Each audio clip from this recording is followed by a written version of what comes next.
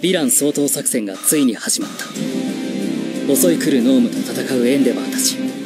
乱戦の中ナンバー5のミルコは逃げるガラキを追いかけ病院の地下施設へと向かう。そんな彼女を待ち受けていたものと。次回ナンバー5のミルコさん。覚醒は後方支援。